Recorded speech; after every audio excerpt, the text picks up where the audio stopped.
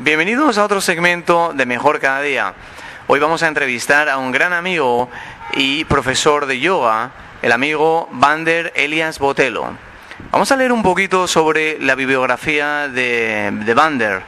Es nacido en Brasil, desde adolescente le surgió el interés por la espiritualidad y el yoga.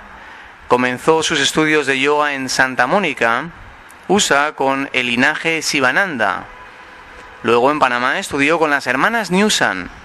En Argentina estudió en la Federación Argentina de Yoga, graduándose como instructor Yoga Paricharya. Y también está certificado por la International Yoga Federation.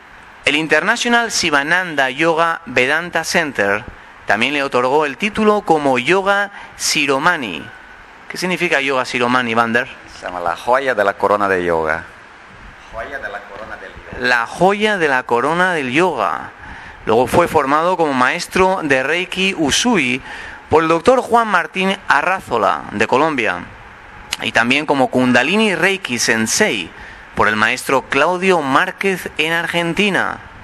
Actualmente es profesor titulado de yoga en distintos establecimientos de Panamá y actualmente forma parte del equipo de yoga en Light Worker Center. Bienvenido, Vander. Bien, gracias. Gracias, Miguel. Bueno, queremos hacerte unas preguntas básicas sobre qué es el yoga, cuánto tiempo llevas, qué es lo que recomiendas. Vamos a empezar por lo básico. ¿Qué es realmente el yoga? Es decir, ¿de dónde viene?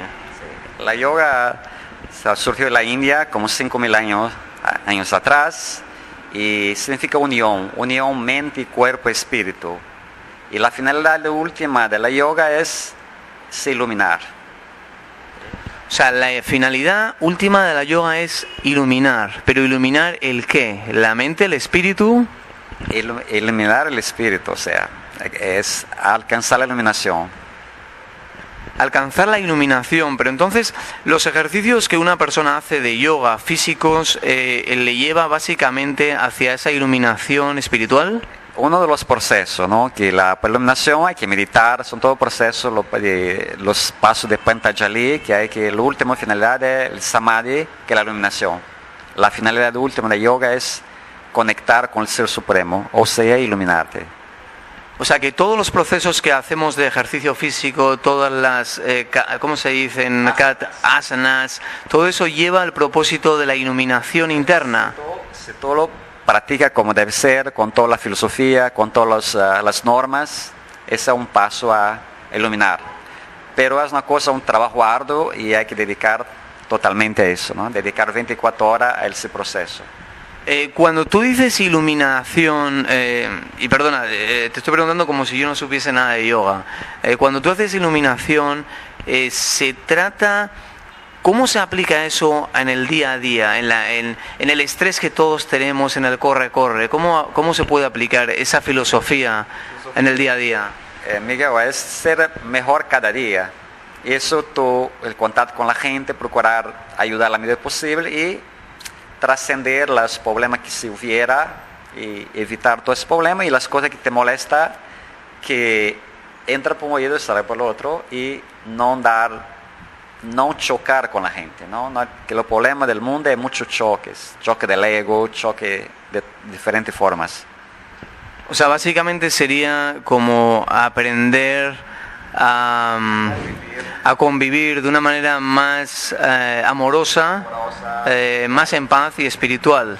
Eso es básicamente el, fin final del yoga. Sí, la finalidad última es, como te la finalidad última de yoga es iluminarte, hacer uno con el todo. Uno con el todo. Esa es la palabra realmente de yoga, ¿no? unión. Yoga es eh, unión, yug, unión. Unión, unión con qué? El, el, ser, el ser mínimo, el ser pequeño nosotros con el ser mayor. ¿sí? El ser, el, el, el micro con el macro.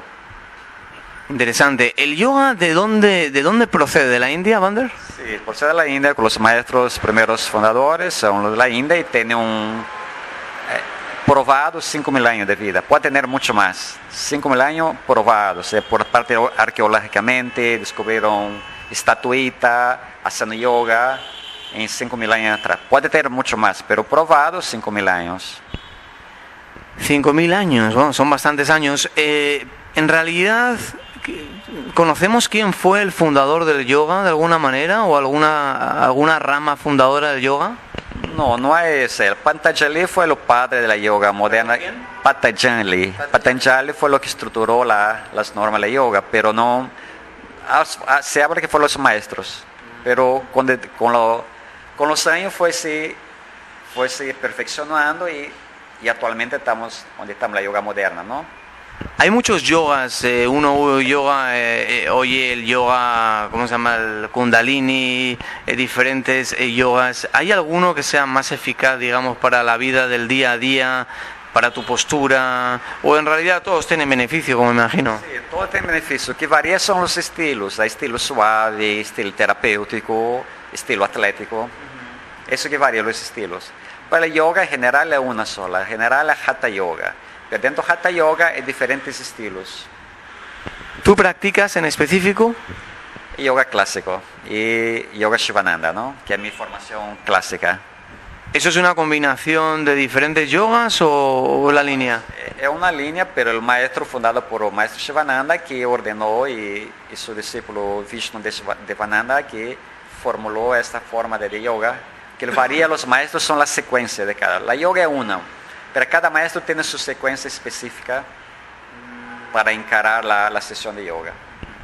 Eh, tú me comentaste que habías hecho un curso intensivo de yoga, una certificación, ¿con qué compañía? Con... Sí, es Shivananda. Shivananda tiene certificación mundial, además certificación mundial está, está a base de 21.000 certificaciones actualmente, desde el año 69, la formación Shivananda, formación al occidente del año 69, y actualmente está está, base de certificación está el número 21.000 de certificado por esta línea específica de, de, yoga, que es Yoga Shivananda. Y reconocido a nivel mundial, me imagino, en cualquier país, ¿no? Sí, es, es la escuela más difundida y la escuela, la única escuela que tiene los Swami, tiene una formación laica y la formación religiosa. Tiene los Swami, tiene la parte que, se forma Swami, que es la parte, parte religiosa, ¿no? Esa parte en sentido. Sí, es la única gran escuela que tiene esas dos secciones. ¿Cuánto tiempo llevas practicando el yoga? la, inquietud tengo desde adolescente, ¿no? Pero en esta época era mucho difícil encontrar un maestro que te podría enseñar. Hoy en día es un boom, ¿no? En todo lado te encuentras por video, por, por todo lado te encuentras televisión, todas esas cosas, pero 30 años atrás era muy difícil encontrar un maestro, un instructor o un profesor, alguien que entonces aprendí, comencé a aprender como la mayoría de la gente a través de libros y eso, pero más la parte filosófica, porque la parte práctica no tenía forma de, de, hacerlo completamente, ¿no? ¿Tú practicas a nivel personal todos los días? Sí, mi, mi horario es levantar a las 4.15 de la mañana, todos los días, de lunes a lunes, y hacer mi práctica diaria como una hora, una hora y media, y después 4 y 15 de la mañana todos los días, una hora y cuarto antes de empezar las clases. es la primera cosa que hago en mi vida es yoga. Todo, todo día levantar lo que hago es yoga. Primera, primera tarea del día, primera contacto de yoga. Todos los días. Todos los días, todos los días de mi vida paro de cabeza de 15 a 30 minutos diarios, todo el día. O sea que una hora y cuarto todos los días como práctica personal aparte de las clases. Una hora básicamente, una hora, ¿no? Yo levanto a las 4 y 15, hasta las 5 y 15 estoy, estoy